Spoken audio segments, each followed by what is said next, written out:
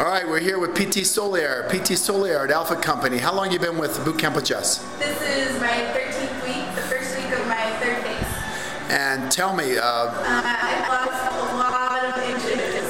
I went from like size 16 or 18 down to a 14 or 12. and how's that make you feel? It feels awesome. And what about friends, family? What, what, what changes have they seen? Uh, a lot of changes.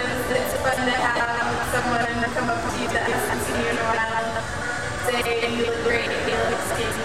And how do you feel emotionally, mentally? I feel good. I love working out. It's addictive and it's nice to come here and have some time with my company and work out. Before you came to me, were you depressed? Did you feel horrible about yourself? Why did you come here? Uh, I came here to start working out again and uh, I didn't really feel depressed, but I feel much better now. Sweet. Definitely much better. And you're here with your sister-in-law, correct? Yep, PT Cast and my sister right. All right, can I get a new bra? All right, carry on, soldier.